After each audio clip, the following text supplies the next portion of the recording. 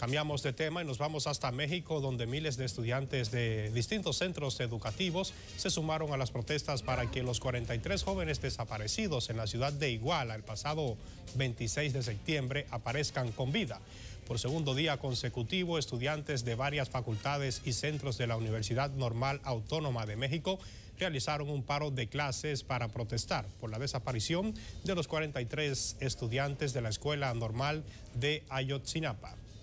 Queremos saber dónde están nuestros compañeros, los queremos conmigo, queremos respuestas, porque uno como estudiante hoy en día peligra aquí en México